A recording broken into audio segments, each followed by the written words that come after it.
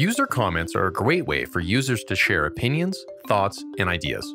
But sometimes you need to separate out the truly constructive feedback from the people who are just being jerks. So, how can you let users give honest feedback or engage in thoughtful discussion while keeping things civil? This is where the Analyze Toxicity with Perspective extension can help.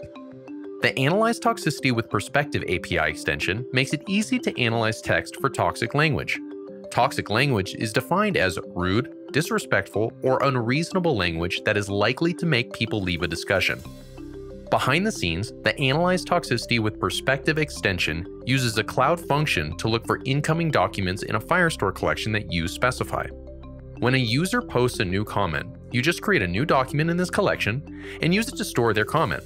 The Analyze Toxicity extension will then read the user's comment from the document, send it to the Perspective API for analysis, and write the results of the analysis back into the same document. The Perspective API uses machine learning to score phrases based on the perceived impact the text may have in a conversation. It can provide scores for a number of toxicity attributes such as severe toxicity, insults, profanity, identity attack, threats, and sexually explicit comments. In your app, you can then use these scores to handle users' comments appropriately. For example, by letting the user know their comment wasn't appropriate, or adding comments to a moderator queue so another human can make the final decision.